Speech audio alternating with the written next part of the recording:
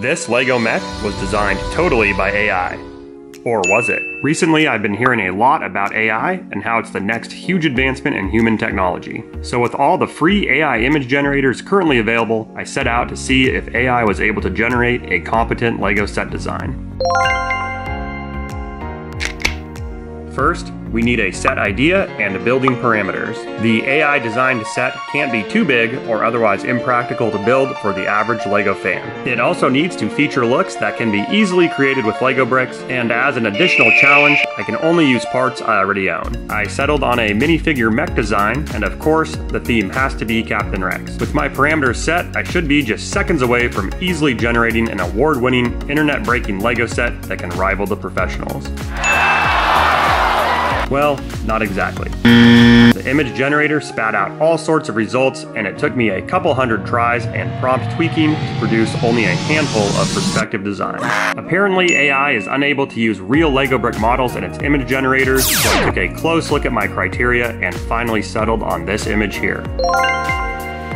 Hello there. As far as I am aware, the AI is unable to give you a parts list or step by step instructions to build your model, so it was down to some good old trial and error and lots of building. A couple hours and 212 pieces later, this is the model I ended up with.